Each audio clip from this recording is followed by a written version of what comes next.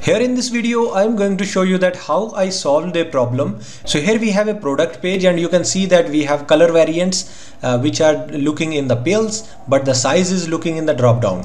So how you can make it happen? So actually I did some research and finally solved it out. Let me show you how I did this. So you should go to the dashboard of the store. Here you can see that I have installed down theme. If you have any other free theme, then this code will be applicable for them so you should click on these three dots. So you should click on duplicate so that later on if you want its original version you can roll it back.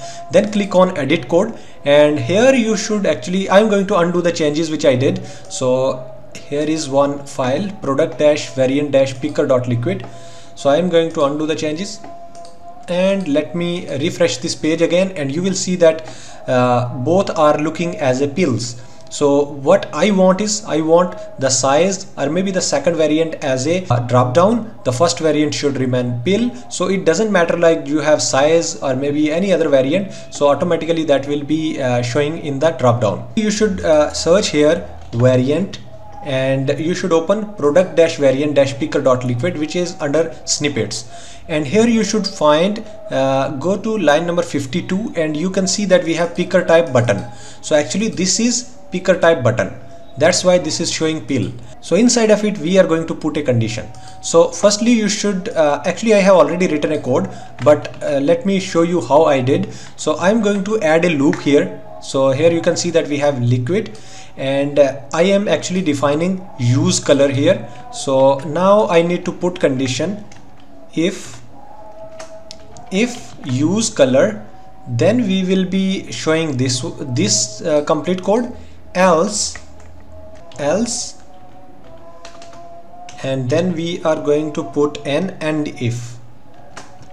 And if. Actually we are putting the same code which uh, which we had before inside the if condition because this is for the use color. I mean if we have the variant name color then this will be applied because we already uh, know that uh, in the color we don't want to change anything. But other than that what should be done? Inside of this else I can see here we have a div which is the complete div related to drop down. So you should just copy and then paste it inside of this else condition. And what you have to do is you have to remove this condition uh, and maybe you should completely remove this code. Okay? This is actually if picker type swatch option so you should remove this. Then after you should uh, put one more thing. Wait a minute. Let me copy this and then firstly you should uh, remove this. And then you should paste here picker type swatch drop down. Okay? And then click on save. Once you are done then let me refresh this page again. And here we go. Now you can see that we have XL we have XSL and if you are adding to cart then automatically that specific XXL uh, is added. So that means this is working fine.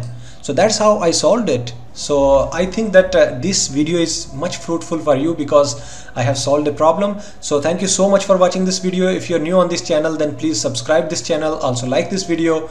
And if you need any kind of features I actually built a lot of features. You can see here I have uh, today implemented one new code related to uh, showing people are viewing right now. How many people randomly uh, displaying here so here you can see that people which are uh, coming to my store so those are reflecting on uh, the product page. So this is actually attracting the customers uh, and making them uh, purchase more products. Thank you once again. See you in the next video